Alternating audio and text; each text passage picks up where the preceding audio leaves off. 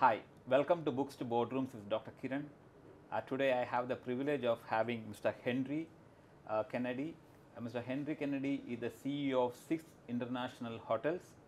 Uh, he's been in the hotel industry for more than four decades. So I'd like to hear from him. Can you just give a little background about your journey uh, in the hotel industry, hospitality industry, and today you are the CEO of uh, Swiss International Hotels. So just give a little background about yourself as well as about the Swiss International Hotels. Sure. Um, I've been uh, born in a family, third generation in the hotel business in the Netherlands. And uh, it was, we had a hotel at home, and uh, at the age of 14, I started working, uh, helping my father in the business uh, as a waiter, later on as a cook, and those sort of things. Uh, by the age of 14, I was uh, really convinced that my future was in the hotel business. And I wanted to go very much to the, let's say, the hotel school university in The Hague. Um, and I, my grandparents lived there, and I took the tram just to look at the building of where the school was established. That's how I was motivated uh, to go there.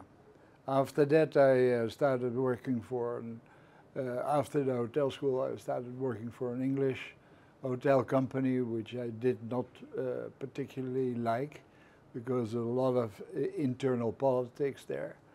And then I moved to another company, uh, Golden Tulip Hotels, and I did that for over 26 years. Uh, in the last 10 years, I was also there, the shareholder and the CEO of that company. Actually, I brought Golden Tulip into uh, the, the Middle East uh, by uh, appointing a gentleman who was very active here. And it's uh, still a pleasure to see that the company is doing well there. Uh, after uh, 2010, I was given the opportunity to take over Swiss International Hotels, originally a hotel group in Switzerland. Um, I looked at the business model uh, which they had at the time, and it looked very much like uh, an automobile.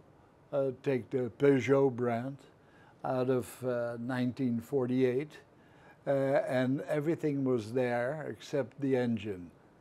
So a car without an engine doesn't come very far. So, but I liked the brand name, Swiss International. So I said to the owners at the time, I'll do it uh, in exchange for the majority of the shares, which uh, we did. We uh, uh agreed, and then I started rebuilding the business model. That was actually for the first time that I had an opportunity to do that, to start a business model with a very strong brand. Uh, and now I had to put a very strong, effective uh, engine in uh, the vehicle. Uh, the business has changed dramatically after introduction of internet in the 90s. But nowadays, uh, we have a lot further changes. Uh, we are living in the digital world. And that has also for the hotel business many, many changes. And um, that's what we're doing. Uh, we have strategically chosen to be active only in Africa, Middle East, and South Asia. Uh, that is the, the geographic area where we operate. So how many hotels uh, under the name of Swiss International Hotels and Resorts now? We have 36 contracts signed. At the moment, there are 15 hotels in operation, and the other hotels are in different stages of construction. And all these hotels are similar type, or do you have business hotels, family hotel, vacation hotels? Uh, there's a differentiation in terms of the types of the hotels right now available. So can you can you share some thought about the different products what you offer under the brand? Uh, in the old days, uh, let's say the 80s, we really had hotels for leisure and hotels for business. Nowadays, uh, that has been blurred uh, because we go to a, a nice hotel with an excellent accommodation for the purpose wha- why we're going for ho- to a hotel. Uh, so I stay away a little bit from your typical business or typical leisure hotels. Uh, It's a mixed business. Um, the, we have, uh, as I said, 36 hotels signed. It's an average size of about 120 rooms. Uh, we are active in uh, over 20 locations in eight different countries. So when you say 15 active, so the rest is the contract is signed, the work is going on. So what are the key strategies you adopt when you choose the location? So you specifically told Africa, Middle East, and some Asian countries. So what is your strategy that okay, I'm going to go in this particular country, and what is the logic behind that? Well, when I took over the business, that was 2010. That was actually in the middle of the uh, credit crisis, the financial, or so certain people call it, the banking crisis. Um, Europe uh, to uh, Europe is not a good place to start a hotel company uh, because of the high capital intensity. Uh, you need to either buy it or you need to lease it. And that is both what we will not do. Um, I moved the company for that reason uh, to the Middle East, to the Emirate of Ras Al Khaimah. There is where we are headquartered today. And I did that because of my previous experience with hotel development in the Middle East that uh, goes faster, is better, easier. And Africa, the same thing. Uh, Africa, the key reason is, of course, the uh, middle class, uh, which is so highly in development, and that is uh, same in the Middle East, same in South Asia. Uh, that average age is so much younger uh, than we were used to. Um, so that it's growing, spending power is better, and that's why we said at a certain moment uh, we will not go anywhere else but in these th- three sections. So, so if I if I look at an academic point of view, so you definitely looked at your uh, political, environmental, social, uh, technological, uh, you know, evaluation to identify the, the so PESTEL plays a very important role in academic terms. We say to identify the right location where, where you want to start. So, ba- so when and when you found out that okay, these are the locations which you want to start based on your analysis. So, whom you position uh, or who are your real competitors in this segment? Because you know here you can even get a room for 150 to 200 dirhams up to 25,000 to 30,000 dirhams. You know, you so that's a big. So you the thousands of hotels are there, but you have a certain competition which you look at the the services, the price point, the customer, the, the target customer. So whom is your real competitor in your market? Uh, that varies, of course, uh, per location, per hotel. Every hotel has their own competitive set. And you have to look at uh, competition from that point of view, uh, per location.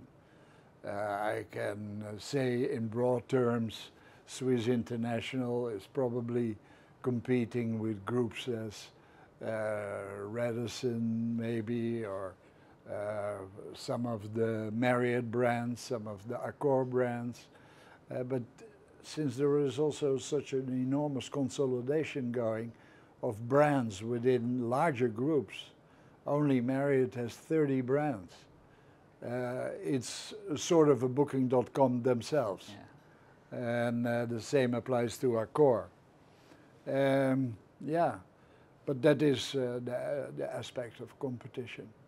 So you told you started such a long year back in the hotel industry, and now the customer perception, the customer way of booking the hotel has completely changed. Uh, you know, now today, I when I book a hotel, I really know how somebody else, uh, the feedback of someone who stayed before, like book, Booking.com, Trivago, whichever online platform which I which I use. So, are you available in all those platforms like all other hotel groups? And uh, what is your uh, customer acquisition strategy? So, how you how you ensure that more customer come to you because being is a new brand for this particular market. Yeah. Um, therefore, um, the answer to your first question is yes. we are there. We have an excellent uh, central reservation system called SwissRes uh, that is interfaced with all the OTAs, uh, all the booking platforms, as well of course, with our own uh, SwissWeb. Um, what we do together with the hotels to, in order to attract visitors uh, is nowadays a lot of digital marketing campaigns. And uh, that, uh, that works unbelievable. Uh, we had a contract signing for a new hotel in Pakistan in uh, Rawalpindi uh, last weekend. Uh, then uh, my colleague in Pakistan is, uh, I call him every now and then, Mr. Facebook, because he put everything on Facebook and LinkedIn and others. it brought him five extra leads for new hotels. So social is, media is powerful. It's unbelievable, unbelievable. Nowadays, the younger generation says, "Yeah, although, did, were you sleeping?" but it is such a big difference when between when I started in the business, in yeah. commercial fields, and today, which is so much more technical and still commercially driven, of course. So, I like to end this interview by asking one of the most important things. You are in the service industry all the hotels are giving great service. I mean, everybody claim to give great service. Your social media messaging or every hotel hotel's messaging service remain the same that they provide the best of for the value for money. How you differentiate your hotel uh, from the competition? Well, first of all, I completely agree with you. I mean, the, the supply of uh, eating, drinking, and sleeping uh, is good at many, many hotels. So you cannot differentiate on that area. We are Swiss International Hotels. That means that in our brand name is the name hidden of a country and a very specific country. Everybody in the world knows Switzerland. Uh, maybe certain spots in Africa not, but uh, everybody knows in the world uh, Switzerland. And also uh, where do you associate Switzerland with? You associate it with quality, uh, items like uh, uh, very accurate people. When I come back in Switzerland, I always say, uh, here is where they vacuum clean the streets and the forests and the mountains because it's incredibly clean there and also green. Um, all those aspects, like uh, accurate, efficient, what the Swiss are, uh, we have adopted that as values in our way of uh, granting hospitality to our guests. So that's great. I think uh, you already have, you told that the hotels what you're opening and signing the contract. Uh, Pakistan is one of the prominent markets, Saudi Arabia. Can we see soon um, a Swiss International Hotel in UAE? Yes, I think so. But it is also uh, uh, people ask you, why did you plan to go there? That's not the, the way how it works. It is the real estate development industry who needs brands to build the, their business. So, and that is uh, all of our customers in uh, in Pakistan, uh, where we have now 12 hotels signed within the last uh, two and a half years. Uh, they are all real estate development companies. And, uh, and then that's why it's good that we have uh, brands in our group for three categories. We have deluxe, upscale, and mid, uh, mid-scale. So so I hope one day we will uh, see uh, soon a International Hotel in uh, UAE. Uh, thanks a lot for your time. Thanks a lot for giving uh, quite a lot of insights about the hotel industry and your career journey and uh, how to start, where to start, what are the things you should one should look before they start or sign, considering this a very competitive environment and very less differentiation. Uh, I wish you all the very best and uh, thanks a lot for coming for this uh, session. Thank you for having me. It's a pleasure to have been here. Thank you. Thank you.